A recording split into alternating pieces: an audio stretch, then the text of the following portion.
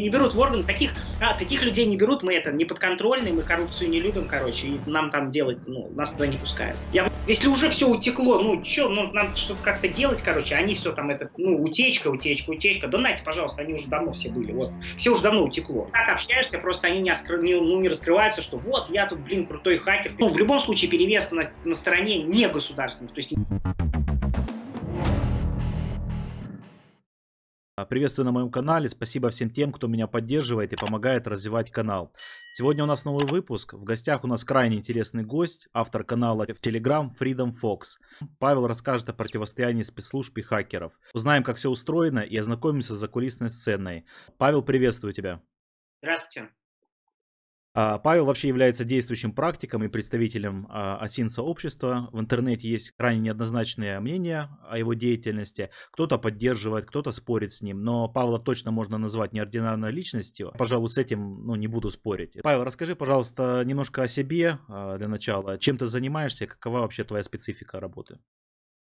Ну, чем я занимаюсь? Занимаюсь я, как сказать, асинтом. Ну, в принципе, для меня это разведка, ну, мне проще говорить, да, там, сбор информации, там, оценка ее, аналитика.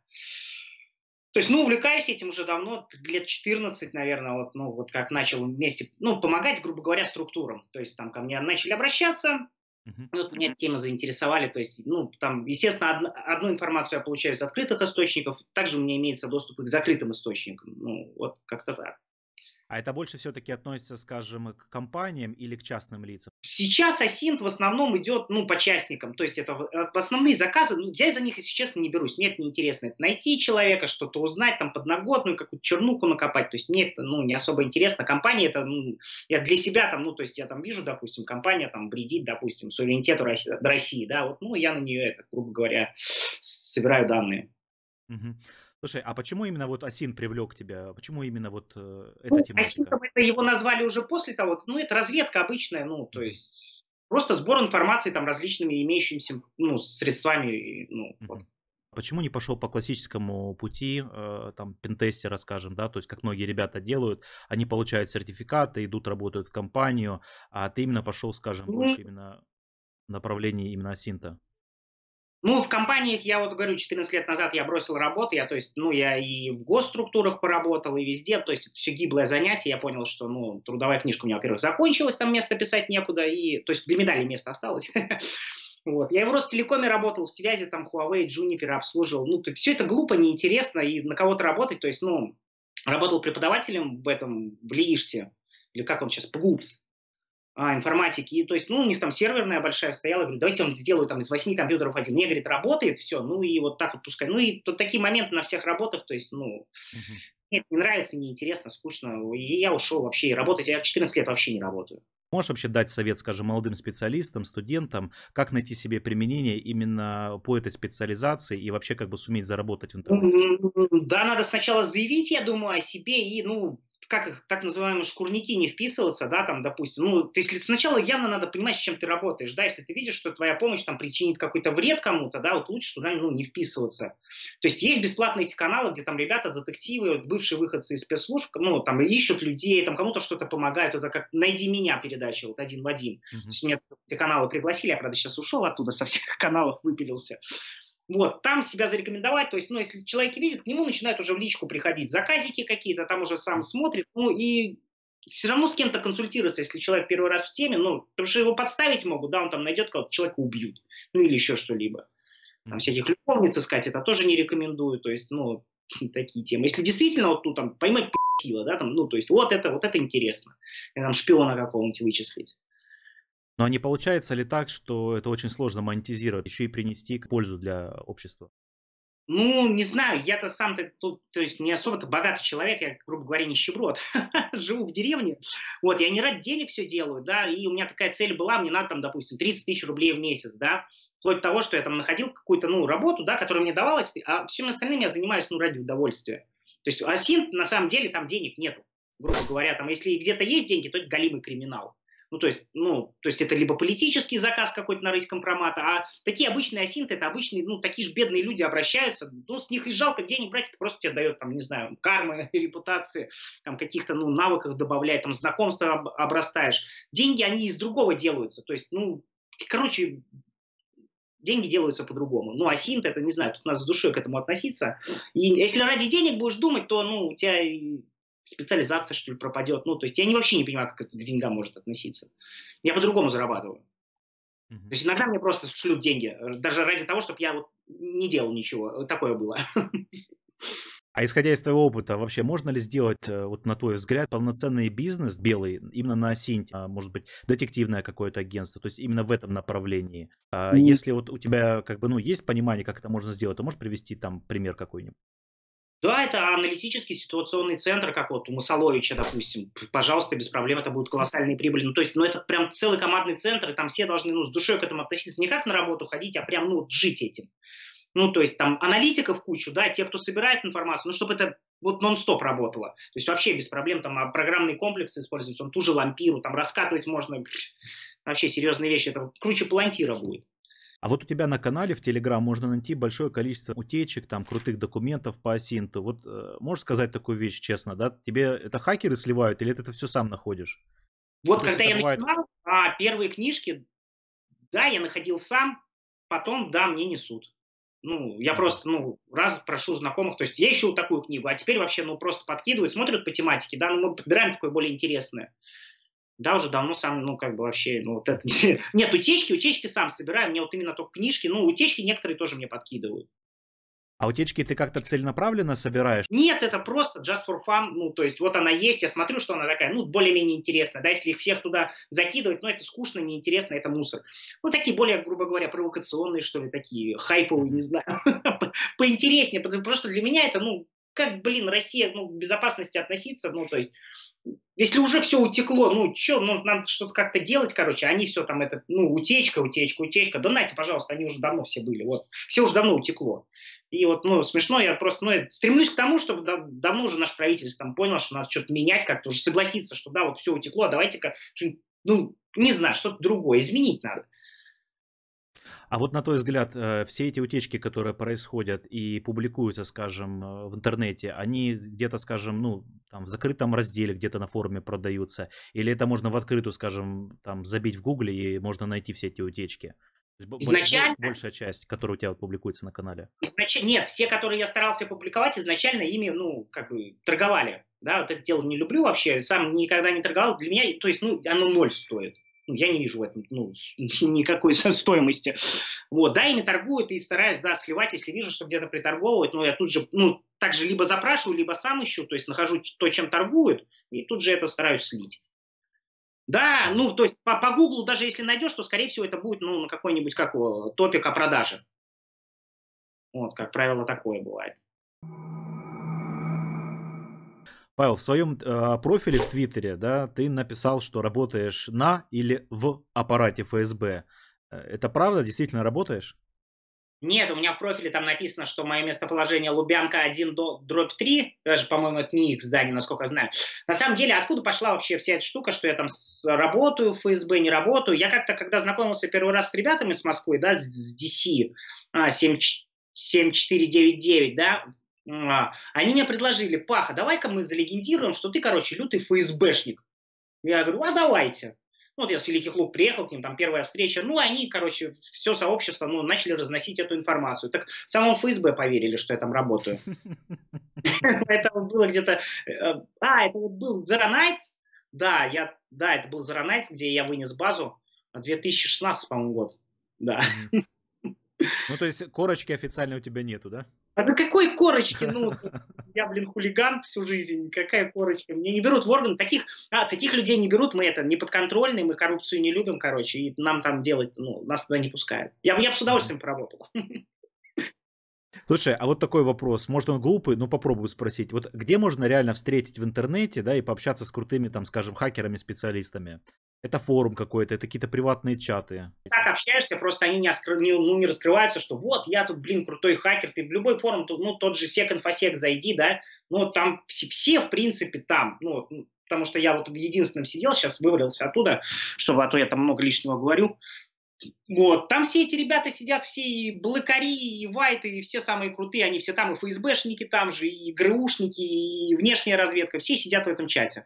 Грубо говоря, они никогда не выйдут, но если тебе чего-то надо, ты грамотно сформулируешь вопрос, да, то есть, ну, человек увидит, он сам тебе в личку зайдет без проблем, все, то есть он опять же не будет говорить, вот я крутой хакер, ну, то есть, а зачем смысл знать, крутой он хакер или не крутой, тебе же надо ответ на вопрос получить, или, или, или как-то так. А вот еще ты в отдельных э, постах упоминал, что тебя пытались там, скажем, завербовать, да, там то украинские, э, по-моему, спецслужбы или американские.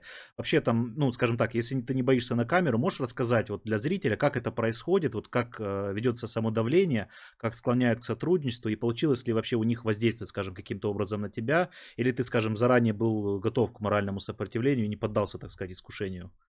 Ну, вербовка для обычных, ну, как бы, как мы, обычных смертных, это не вербовка, ну, то есть, а ну, я, допустим, обладаю такого рода информацией, причем связями, да, я любой разведки, ну, любой другой страны в любом случае буду интересен, да, но меня не вербуют, они сначала, ну, втираются в доверие, начинают помогать, там, что-то предоставлять, но ни одна из сторон, вот Украина еще проще, да, тебе хоть какие-то деньги даже бывают, люди такие, вот, я, я понимаю, что тебе плохо, там еще где-то в Твиттере начинаешь плакаться, такой, м-м, как жизнь плохая, не раз такой, там, 10 долларов кинут, это вот Украина в этом плане молодцы, Америка, Америка фиг, те вот за 4 доллара мне портфель Паша, я им тогда всю эту службу развалил, вот он работает там, Ромашкин Паша, PR Security, да, где с НБшниками там крутит, вот они пытаются внедриться в наше российское хакерство, все они ищут систему Имотет, которая там полмира, ну, вирусная, наша разработка, грубо говоря. Вот. Ну, то есть они, да, втираются в доверие, там, привет, привет, начинается общение, все выведывают, выведывают, выведывают из тебя, и потом где-то материалы копятся. И все. Естественно, там при, приходят такие предложения, они промеркивают так, ну, завуалированно, что а не хотел бы ты вот, ну, жить в другой стране, ну, вот, ну, такие разговоры, все как по учебнику, это скучно, ну, мне не интересно. То есть была бы вербовка такая прям, я, может быть, даже и поехал посмотреть, вот ради интереса. Ну, профессионалов я пока в этом деле не видел. Слушай, ну, если а вот... я из России, ну, не уеду никогда, мне здесь вообще замечательно живется, то есть, ну, мне за границей не нужна, никогда не было и, и никогда не будет. Слушай, а ты вот э, много с кем вообще общался с теневого, скажем, сообщества, может быть, вот силовыми органами. На твой взгляд, кто сегодня вообще вот круче и умнее, да, теневой хакер-одиночка или все-таки правительственный хакер? Вот по твоему мнению, скажем, с точки зрения там интеллекта, возможностей, как вообще вот именно если рассматривать две стороны медали? Ну, правительственные, кого я знаю, очень крутые, но в правительстве пошла тенденция, что, ну, оттуда стали уходить. И новые к ним уже больше не идут. Там условия очень жесткие, там, грубо говоря, зарплаты, ну, то есть там нет вот этого, ну, больших денег, да, и там вот именно заставляют тебя, когда тебя заставляют, это вообще неинтересно ничем заниматься. Там есть, там есть крутые ребята, ну, очень крутые ребята, не буду называть, как эти АПТ-группы называются, вот, я их знаю, знаком, но они оттуда стараются уходить, все, все, кто может, все оттуда валят. Так что, ну, в любом случае перевес на, на стороне не государственных, то есть не надо их называть теневыми, они просто не гос, они не работают с государством. И я рекомендую, не работайте с государством, потому что это, блин, гибло все. На самом деле это все, ну, погано, то есть там, ну, такие люди, особенно вот если брать Москву, Питер, ну, это вообще, это мертвая зона, там, там все ради денег, короче, им все, им, ну, небезопасность, ну, России, там, ну, государство, вообще ничего не интересует, только бабки, бабки, какие-то шкурники решать, ну, вот такое. А здесь, например, ну вот на моем уровне, да, а здесь, ну, например, говоришь, вот там пошла серьезное там, ну, вторжение в информационное пространство Российской Федерации. Блин, а это не наш уровень, что мы здесь можем делать? Они отписки какие-то в центр делают. Но это вообще не работает. Ну, ну, короче, все плохо. Слушай, а вот э, ты раньше часто реклами- рекламировал у себя на каналах вот сайт krober.biz. Это твой сайт или там просто сидят, скажем, хакеры близкие тебе по духу? И что интересного мне, обычному пользователю, можно там найти? Там сидит один человек, зовут его Крабейший, раньше был часик. Ну, это умный парень, не буду говорить откуда, он вообще молодец. Но он периодически, ну, он, то есть, он не афиширует себя. Кто это такой? Ну, многие его лично знают. То есть он молодец, и у него подход э, к изложению текста вот именно, ну, очень круто все впитывается, да, допустим, там про, как, ну, про, ну, про какую-то тему он рассказывает, это, блин, красивым языком написано, там, с матом чуть-чуть, ну, так смешно, и это очень хорошо накладывается, ну, изу, можно сказать, по нему можно изучать некоторые моменты, он очень, очень умный, могу сказать, и он такой известный. Но сайт не твой, как я понимаю. Не-не-не, конечно, сайт не мой, сайт принадлежит Крабейшему, я даже не знаю, как его зовут. Вот все мы его называли, когда-то у него был чатик для своих, да, потом он распался, потому что начали появляться левые люди какие-то, стало уже неинтересно общение, все его называли Крабейший. Вот так вот. Очень интересный вопрос хотел задать. Слушай, давай на минуту представим. Вот ты предприниматель, скажем, из среднего класса. Ты, скажем, ничего не понимаешь в информационной безопасности, да? Но у тебя, допустим, у твоей компании украли около 100 миллионов рублей. А куда ты вообще будешь обращаться за помощью, да, скажем, в расследовании такого инцидента. То есть это должна быть какая-то специализированная компания, это должны быть какие-то, может быть, частные люди. Как это вообще происходит? Куда бы ты обратился? Я бы а, понял, понял бы и простил, на самом деле, ну какой смысл обращаться? Ну, то есть, э, никогда деньги, во-первых, не возвращали, да, найти преступника, ну, я смысла в этом не вижу. То есть, это потеря еще других денег, потеря времени, да. А разобраться, как это произошло, да, интересно, ну, то есть, а поиском это, ну, то есть, вообще не нужно. То есть, а если ты, ну, то есть ты должен уже был, ну, после инцидента, ты должен понимать абсолютно четко. Не надо вообще никому обращаться, то есть понять, с безопасностью у меня все плохо. То есть ты начинаешь, короче, сам нанимать каких-то безопасников новых, которые к тебе уже придут, не надо вот эти кто-то там, допустим, да, которые расследуют. Ты просто нанимаешь уже безопасников, и, ну, при трудоустройстве они раз приходят, говорят, да, действительно плохо, и спрашиваешь, можешь ты это исправить? Можешь, беру на работу. Вот ты просто должен заменить и понять, что в безопасность надо вкладывать бабки. Причем э, безопасность э, равнопропорциональна твоему доходу. У тебя есть миллион да, долларов на счету, а потратить на тебя надо 999 тысяч долларов, да? Ну, то есть до миллиона там цента не хватает, я их потрачу, чтобы цент заработать. И обнесу тебя. То есть, ну, вот безопасность стоит ровно столько, сколько у тебя можно украсть. Вот это так. Это очень дорого. Ну, то есть, а безопасность, грубо говоря, тебе в любом случае можно, ну, ну зачем компьютеры использовать, да? Ну, поставил пистолет тебе в голове, ты и так все пароли расскажешь. ну, какие проблемы? Вообще, вот когда ты делаешь, скажем, расследование, да, ну, если мы говорим об Асинте, а какие методики и инструменты ты используешь? С чего начинаешь сам процесс э, поиска информации? Ну, то есть у тебя есть какая-то методология, скажем? Э, или, нет, там, вообще, допустим... если честно, нет, все, все так сумбурно делается, там где-то если честно, я в основном использую телефон.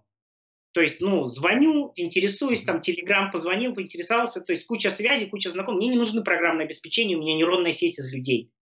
Ну, то есть, э, намного быстрее, проще и эффективнее.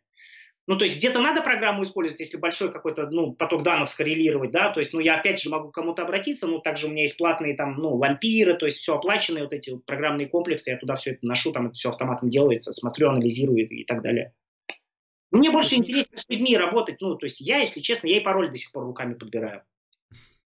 То есть такого нету, что ты вот вечером сел, скажем, там, достал, там, не знаю, э, там, ноутбук, да, какая-нибудь специальная операционная система, там, хуни, не, не, не, виртуалок, и нет, ты нет. начинаешь, занимаешься поиском. Такого нету. Нет, нет, нет, нет. Я, мне в чатике посидеть, там, пообщаться. Мимо делом я что-то и узнаю и по работе, и вот это все как-то mm-hmm. все совместно. То есть я просто, больше... ну, у меня нет работы, то есть меня ничто не обременяет, да, я делаю это все, у меня есть время, я займусь этим, нету, ну, занимаюсь чем-то, чем, чем люблю заниматься, и то есть это все совокупе дает какой-то результат мне.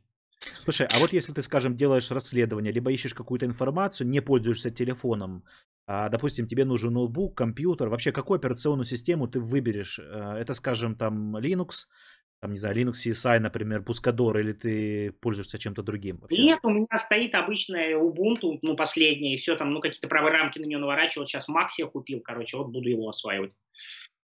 А специальные, скажем, дистрибутивы под Asint э, ты можешь какие-то порекомендовать? Ну, то есть, э, под Asint они заточены, во-первых, они не российские. Есть одна, вот э, как ее, как называется?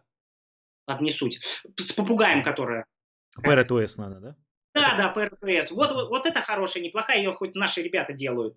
Она так, ну, подосинт, не подосинт, но она такая более-менее безопасная, то есть все твои действия, да, ну, то есть они тебя не скомпрометируют, грубо говоря. Mm-hmm. То есть что при осинте главное, да, это не скомпрометировать себя, иначе тебе сразу шпионаж появит а, в, в чью-то пользу.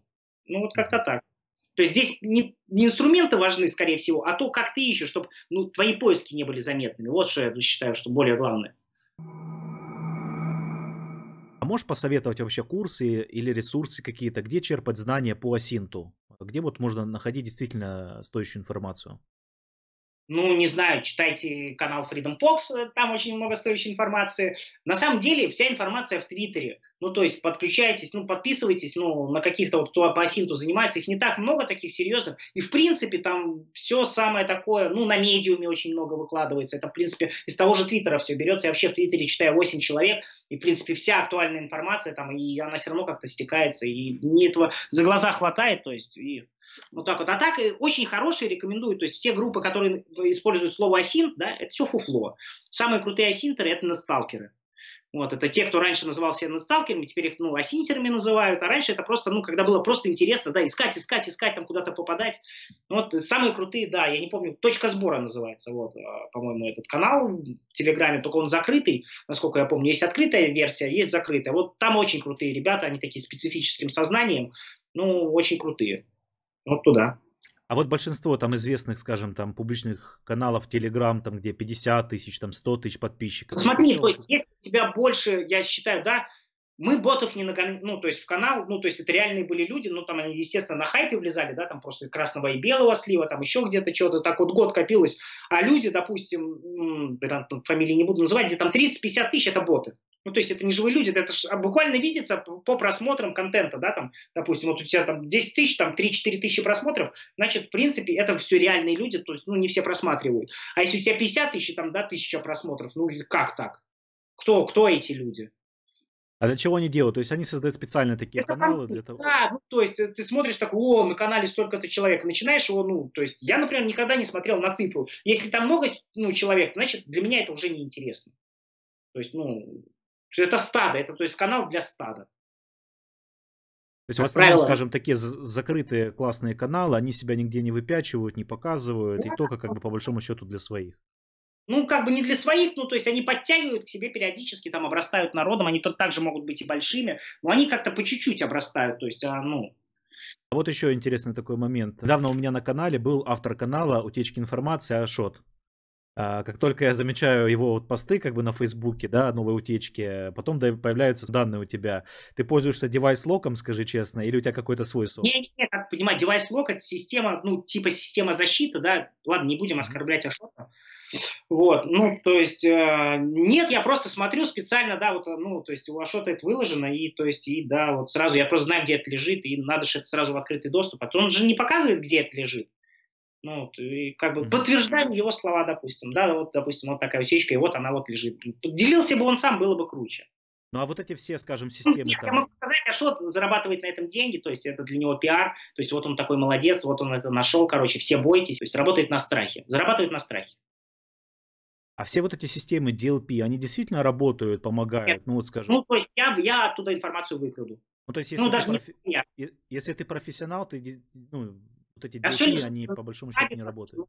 Блин, на YouTube куча, ну, ну, мануалов, как вообще обносить эти корпоративные сети. Ну, то есть это не так сложно на самом деле. Я могу просто тупо вынуть винчестер, дапнуть его и, и все. И, и, вот, и вот так. Я, меня из-за этого из института выгнали в свое время, я вот перестал учиться. То есть э, они сказали, у них самая крутая система защиты была, да, там все дела. Ну что я сделал? Я просто вынул винчестер, ночью зашел туда по знакомству. Там мне компьютер почистить надо, вынул винчестер, скопировал все и ушел. Вот такая система защиты. Меня выгнали на следующий день. Как думаешь, что ждет вообще Россию в ближайшем будущем? А, будет ли тотальный контроль, слежка за населением? И что думаешь вообще на этот счет? Нужен ли он нам, этот контроль? И, по твоему мнению, как сберечь свободы, гарантированные нам законом? Ну, закон нам никаких свобод не гарантировал, слежка не надо себе льстить, да, на каждую, ну, то есть это же надо кому-то еще анализировать, да, то есть как все говорят, меня прослушают, ну, как так прослушать, то есть это должен кто-то услышать, да, то есть тут у нас сколько миллионов, да еще такой же миллион должен прослушать, анализирующих быть людей, да, то есть, а свободы пускай ограничают, на этом же можно будет деньги зарабатывать, будем продавать суперсекретные защиты там туда-сюда, ну, ну пускай следят за нами, я уже он сам специально хожу, чтобы это, ну поснимайте меня, ну последите, ну кому мы нужны? Ну, то есть это все смешно, это все политика, политика и бизнес. Вот, то есть заморачиваться по этому поводу не стоит, какие свободы, ну, то есть, э, ну, то есть это не об этом. Вот так. Ну а все вот эти там вещи, когда сейчас рассказывают там страшилки, даже я у себя там бывает, что на телеграм-канале пишу про там Google, Apple, что вот они ищут вместе там решения для того, чтобы следить э, за теми, кто там, возможно, заражен э, ковидом, ну, то есть коронавирусом и так далее. А, ну, это они все... Они же не ищут, у них уже давно все есть, они ищут, наоборот, как тебе подсунуть более качественную рекламу. Ну, то есть, а, то есть даже не тебе подсунуть, а как ее а, заставить покупать у них, а, у тех, кто эту рекламу дурацкую продает. Или говорить об этом в СМИ, да? То есть вот они выпустили да, эту новость, это, заявили, и люди сразу подхватывают и обсуждают. Да, да, да, это раздувают. Но это бизнес, бизнес и политика. грустно и, и, и скучно. Э, Паш, и финальный вопрос. Э, в твоей инсте есть занимательный ролик с черепахой, я его обязательно покажу вот здесь на экране. Блять, новый дом для черепахи. Сука, выберется или нет?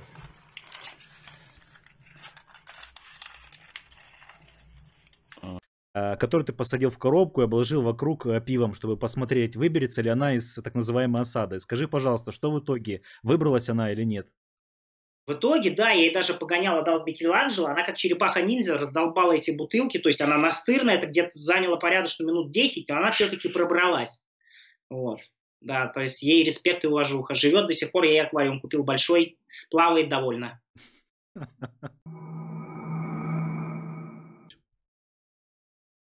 Павел, спасибо, что был с нами, поделился откровениями и мыслями. Вот. Желаю тебе успехов и творческих идей. А, спасибо большое, что уделил время. Да? Ну, а на этом у нас все. А, всем спасибо. Ставьте лайк, пишите свое мнение в комментариях. Всем пока. Павел, спасибо. Счастливо. Сергей, спасибо. Счастливо.